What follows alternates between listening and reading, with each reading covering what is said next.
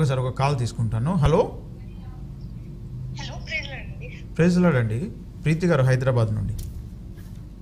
అవునండి. ఓకే అండి. మీ ప్రశ్న ఏంటి ఓఫీస్ సార్తో పంచుకోండి.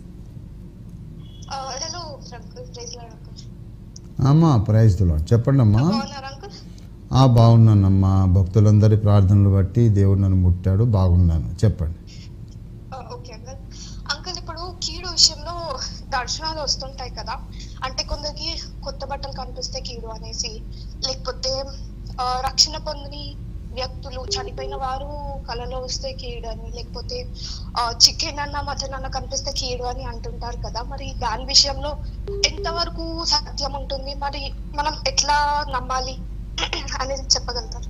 అసలు ఒక విషయం తల్లి మనము రోమాపత్రిక ఎనిమిదవ అధ్యాయము ఇరవై ఎనిమిదిలోకి వెళ్ళిపోతే ఈ దర్శనాలు దీనివల్ల మనకు ముందుగా తెలిసే కీడు కానీ హస్త సాముద్రికము ఆస్ట్రాలజీ ద్వారా జ్యోతిష్ శాస్త్రం ద్వారా ఎన్ని రకాలుగా కూడా భవిష్యత్తులో జరిగే కీడును మనకు ఎన్నో రకాలుగా మన దృష్టికి తెస్తూ ఉంటారు చాలామంది.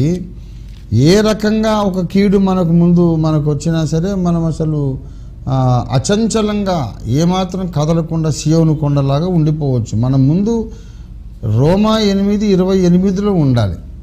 దేవుని ప్రేమించు వారికి అనగా ఆయన సంకల్పం చొప్పున పిలువబడిన వారికి మేలు కలుగుటకై సమస్తమును సమకూడి జరుగుచున్నవని ఎరుగుదుము.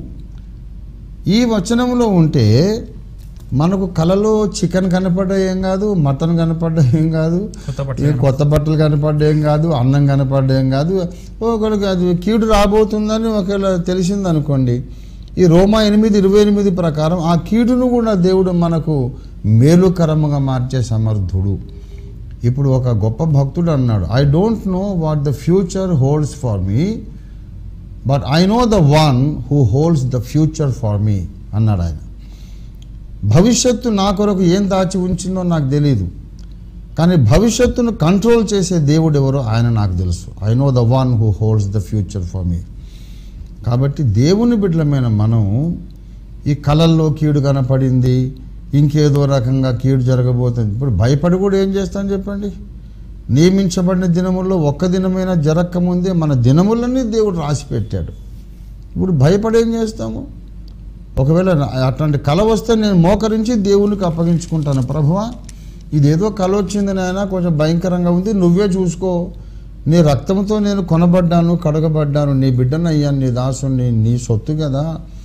ఆ కీడు నుంచి నీవే నన్ను తప్పించు నీకు అప్పగించుకుంటున్నాను స్వామి అని ప్రార్థన చేసి భారము దేవుని మీద పెట్టేసి ఆ కళను నేను మరిచేపోతాను ఇక. గుర్తు కూడా పెట్టుకోను. నా మైండ్ అనే కంప్యూటర్ నుంచి ఆ కళను ఆ దాన్ని భయాన్ని డిలీట్ చేసేస్తాను నేను అంతే. అలా చేయాలి మనం. రోమా ఎనిమిది ఇరవై ఎనిమిదిలో ఉంటే ఎలాంటి భవిష్యత్తులో రాబోతున్న కీడును గూర్చిన సమాచారం ఏది మనల్ని భయపెట్టజాలదు. We should all live in Romans eight twenty eight